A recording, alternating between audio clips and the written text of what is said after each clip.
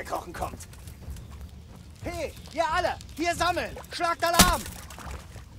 Zu den Waffen! Hier rüber! Genug! Ich ergebe mich!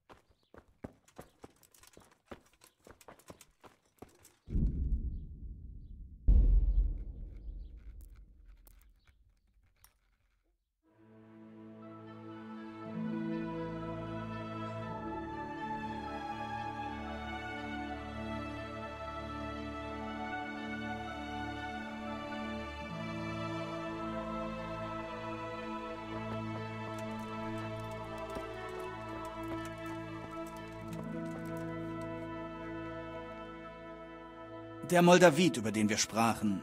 Ja, gibt es etwa Neuigkeiten? Ja, äh, ich habe Händler Vizek gefunden. Eigentlich eine gute Nachricht, doch warum sehe ich ihn nicht an deiner Seite? Weil es eine schlechte ist. Er ist tot. Heilige Maria.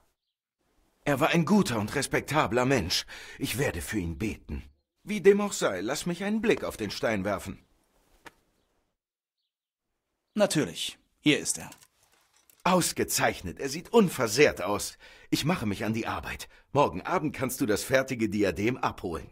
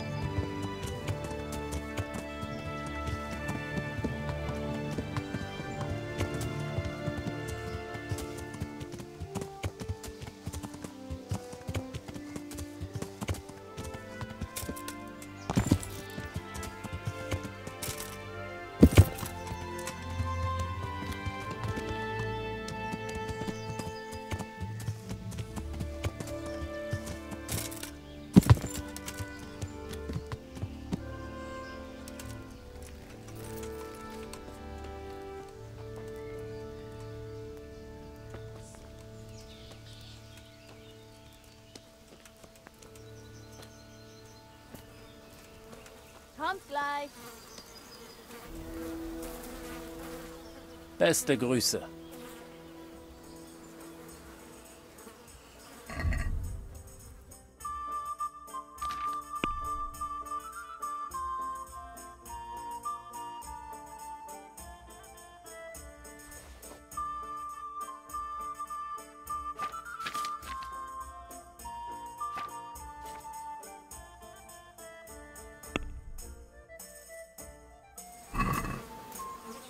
Lass uns über den Preis sprechen. Äh, ist gut.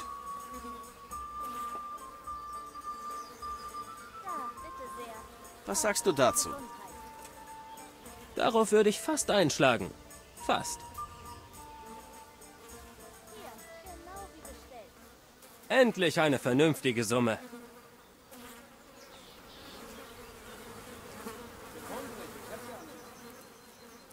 Gibt es hier in der Gegend Probleme, bei denen ich helfen kann? Nun, kommt drauf an, was du so tun würdest. Hier kam vor kurzem ein Lump vorbei, aber wir haben uns um den gekümmert. Hat Reliquien verscherbeln wollen, die Wunder und was weiß ich alles bewirken sollen. Alles nur Tant. Die Leute haben den räudigen Schwindler so schnell davongejagt, dass ihm der Arsch in Flammen stand. Bis nach Ledetschko, glaube ich. Aber dort wird er auch nicht lange bleiben können. Und da fällt mir ein, Sicher braucht der in Skalitzer Volk am meisten Hilfe. Ein paar von denen hocken im Kloster. Hab mit Johanka geredet. Die schuftet sich die Finger wund und kümmert sich dort um die Verletzten.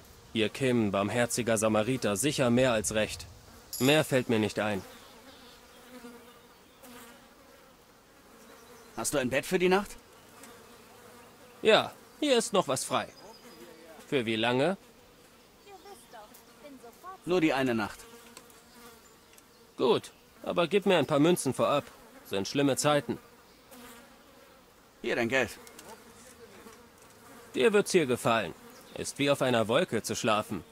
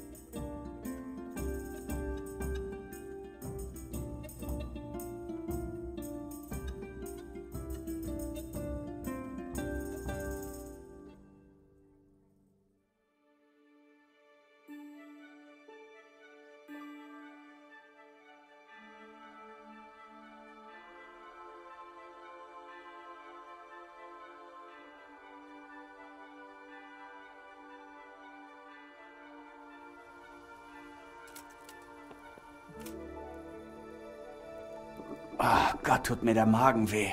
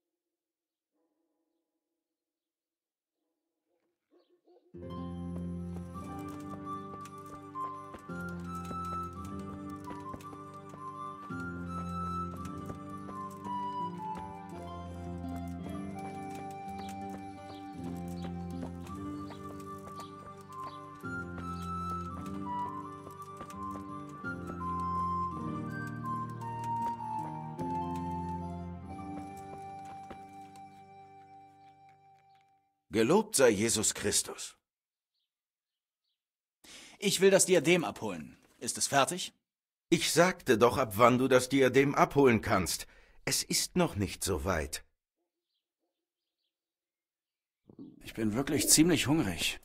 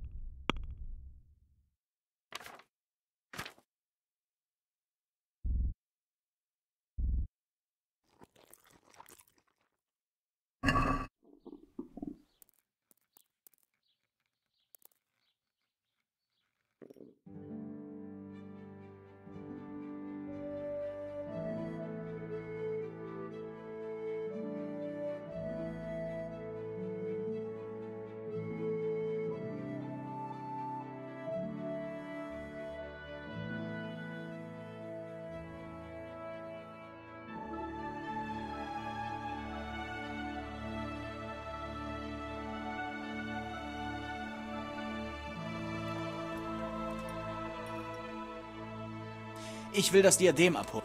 Ich sagte doch, ab wann...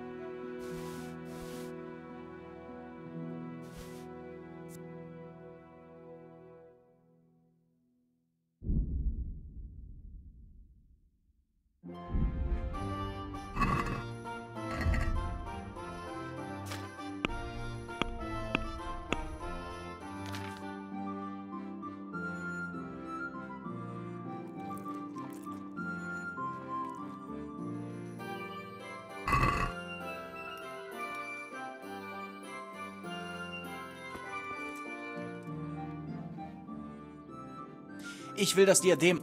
Ich halte mein Wort. Natürlich ist es fertig. Hier, bitte. Gott sei Dank hast du den Moldavit gefunden. Ohne ihn wär's nicht halb so schön.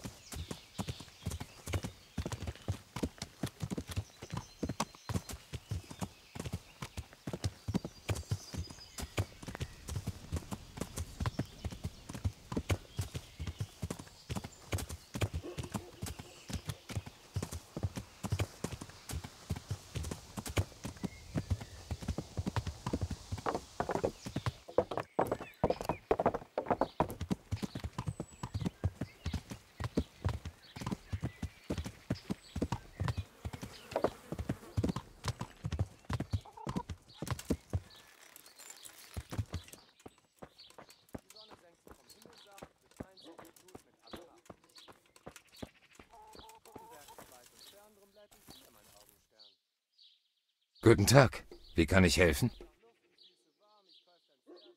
Hast du zufällig Arbeit? Tja, wenn ich so drüber nachdenke, es gäbe da eine Sache. Kürzlich kam so ein heiliger Mann vorbei. Er hat behauptet, er käme aus dem heiligen Land und hat Relikte verkauft, die er auf seinen Reisen gesammelt hat. Verstehe. Jedenfalls habe ich gehört, er hätte Bruchstücke eines Schwertes, das einst der berühmten tschechischen Königin Saba gehört hat. Aber als er bei mir ankam, war kein einziges mehr übrig. Er hatte nur noch zwielichtige Waren wie Splitter vom Kreuze Jesu, Dornen seiner Krone. Hm, nichts, was mich interessiert. Und wer hat die Bruchstücke des Schwertes nun? Er hat sie an die Schmiede in der Gegend verkauft. Sie haben sie bloß zu Hause rumliegen als Glücksbringer. Wenn ich alle hätte, würde ich das Schwert zusammensetzen. Kannst du dir vorstellen, welche Macht es hätte? Wenn du mir alle Teile besorgen kannst, werde ich dich reich belohnen.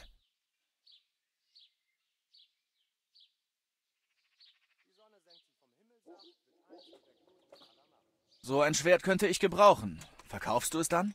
Tja, das wird dich was kosten. An die Bruchstücke zu kommen ist eine Sache, aber sie zusammenzusetzen eine ganz andere. Der Pfuscher aus Ratei brächte das nicht fertig.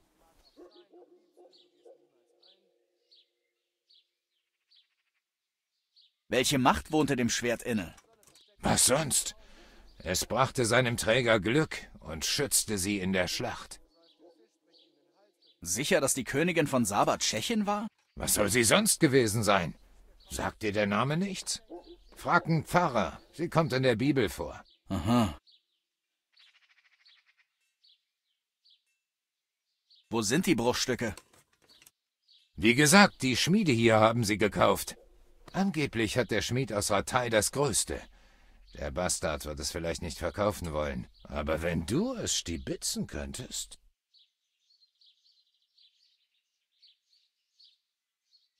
Ist es nicht seltsam, dass ein Pilger etwas so Wertvolles bei sich hat?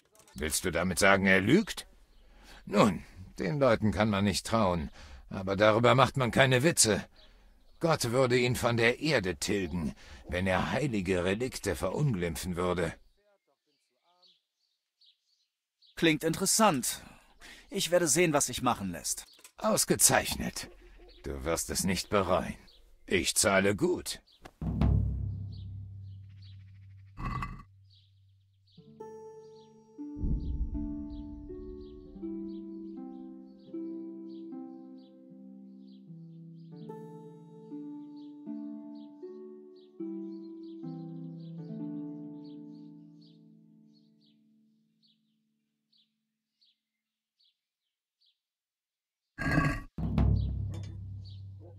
Lässt sich was am Preis machen? Klar, warum nicht?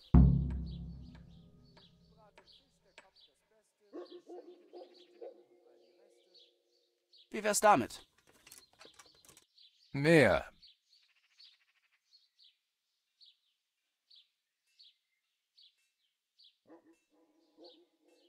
Sind wir uns einig? Darauf würde ich fast einschlagen. Fast.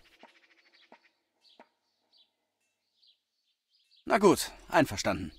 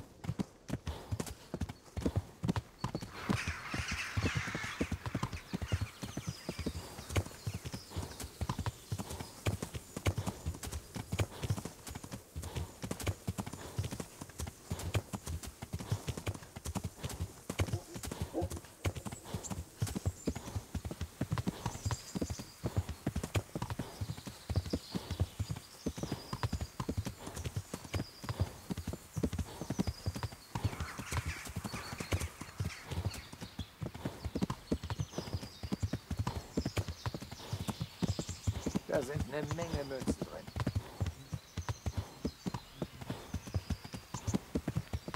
Warte, lass uns doch kurz reden.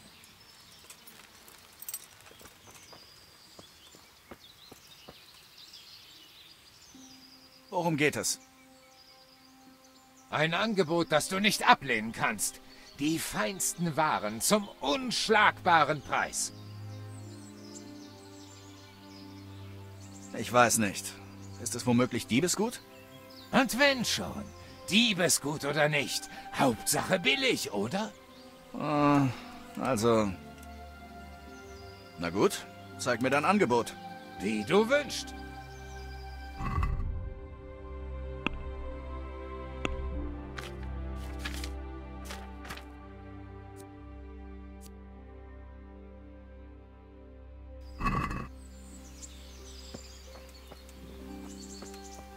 Es ist nichts dabei.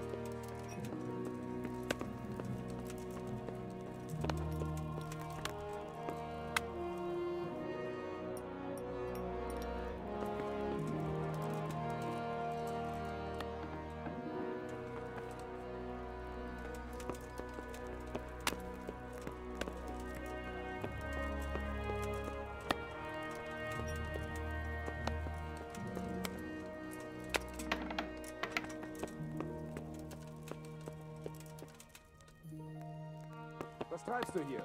Verzieh dich oder ich gebe dir Saures.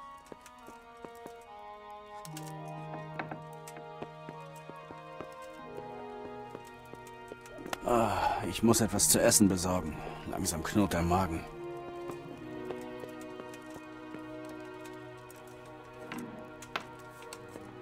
Willkommen, Heinrich.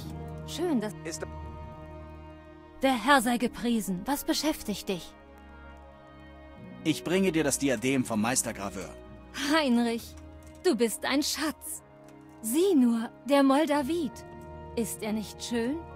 Sophie wird aussehen wie ein Engel. Was wollte ich noch? Kann ich noch etwas für dich tun? Nein, du hast wahrlich genug getan.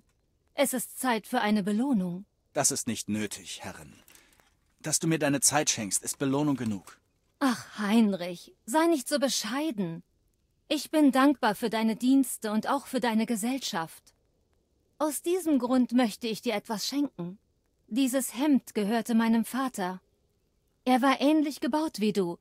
Breite Schultern, starke Brust. Es sollte dir passen. Aber das kann ich nicht annehmen. Es ist zu wertvoll. Eben deshalb werde ich es nicht den Motten überlassen. Meinem Mann passt es nicht und ich wüsste niemanden sonst. Außerdem, wenn du uns wieder verlässt, möchte ich, dass du etwas hast, das dich an mich erinnert, damit du mich nicht vergisst. Dich könnte ich nie vergessen, Herrin. Nun, würdest du es zumindest anprobieren? Was? Jetzt? Warum nicht? Keine Sorge. Ich drehe mich auch um. Und wenn dein Mann hereinkommt? Wird er nicht. Und auch sonst niemand. Ähm, na gut. Es ist wirklich schön, dich hier bei mir zu haben. Ich sehnte mich so lange nach jüngerer Gesellschaft. Offenbar hat Gott meine Gebete erhört und ich zu mir. Ich bin fertig. Das steht dir ausgezeichnet. Du siehst aus wie ein feiner Herr. Als ich ein kleines Mädchen war, hatte ich immer viele andere Kinder und junge Erwachsene des Hofes um mich. Ich war so glücklich. Ich dachte, dass das für den Rest meines Lebens so bleiben würde. Aber Gott hatte andere Pläne für mich. Hast du und Herr Divisch keine Kinder? Nein.